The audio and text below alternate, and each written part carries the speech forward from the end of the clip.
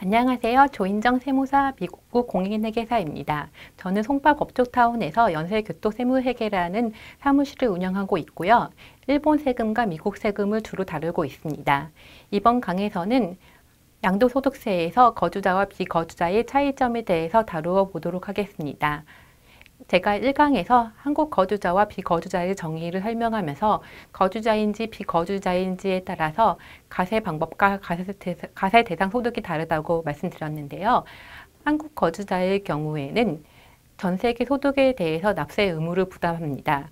즉 한국 소득세와 한국 한국에서 부동산을 팔, 팔았을 때와 외국에서 부동산을 팔았을 경우는 모든 부동산에 대해서 한국시청에 신고하고 납부하셔야 합니다.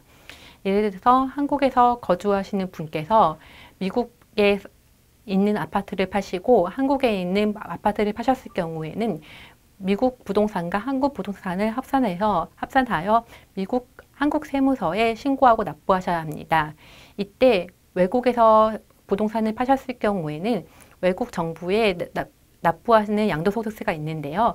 이런 세금은 외국 납부세 공제로서 한국에서 신고하시고 납부하실 때 외국 납부세 공제로서 공제받을 수가 있습니다.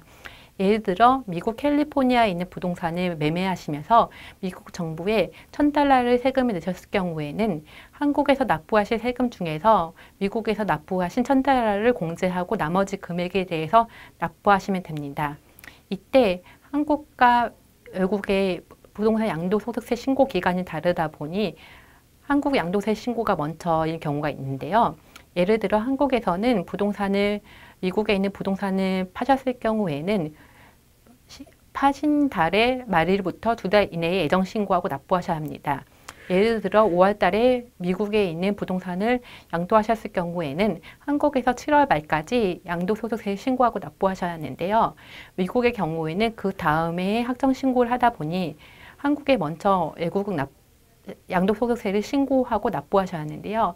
이때 미국에서 낸 세금에 대해서는 어떻게 할까요? 아직 내지 않았는데 이럴 경우에는 미국에서는 양, 부동산을 양도했을 때 에스코로 회사가 관련된 양도소득세를 먼저 원천 징수하는데요. 이 원천 징수된 내역을 받으셔서 한국에서 양도세 신고를 하실 때 외국 납부세 공제로 공제 받으시면 됩니다.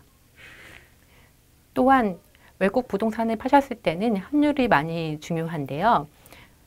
환율 적용은 매매 시에는 매매 시에 기준 시가와 기준 환율이나 재정 환율을 적용하시고 취득 가액은 취득 시에 기준 환율이나 재정 환율을 적용하시면 됩니다. 이때 조, 조 심해야 할 점이 취득 시기는 계약서 서성의 날짜가 아니고 취득, 부동산을 취득하기 위해서 해외에 송금한 날짜, 즉 통장에 찍힌 날짜 중심으로 하시면 됩니다. 마찬가지로 매도 시도 부동산 거래 계약서에 써 있는 날짜가 아니고 부동산을 매도하여서 그 에스코로 회사에서 부동산 대금을 통장에 찍힌 날, 송금 받은 날, 날짜를 날짜의 기준 한 기준 환율이나 재정 환율 적용하시면 됩니다. 예를 들어서 5월 3일 날 부동산 거래를 체결하시고 5월 10일 날 돈을 보내셨다면 기준 기준 환율 적용할 날짜는 5월 3일이 아니고 통장에 찍힌 5월 10일 날에 기준 환율이나 재정 환율을 적용하시면 됩니다. 그렇다면 비거주자가 부동산을 양도했을 경우에는 어디에 세금을 신고하고 납부하셔야 할까요? 비거주자의 경우에는 한국에 있는 부동산에 대해서만 한국에 신고하고 납부하시면 됩니다. 즉 미국에 거주하는 분께서 한국 부동산과 미국 부동산을 양도했을 경우에는 한국 부동산에 대해서만 한국 국세청에 신고하고 납부하시면 됩니다. 이때 비거주자이므로 한국 거주자들이 받을 수 있는 1세대 1주택 비과세 감면은 받을 수가 없습니다. 이상 이번 강에서는 한국 양도세에서의 거주자와 비거주자의 차이점에 대해서 다루어 보았습니다. 이상 조인정 세무사 미국 공인회계사였습니다. 감사합니다.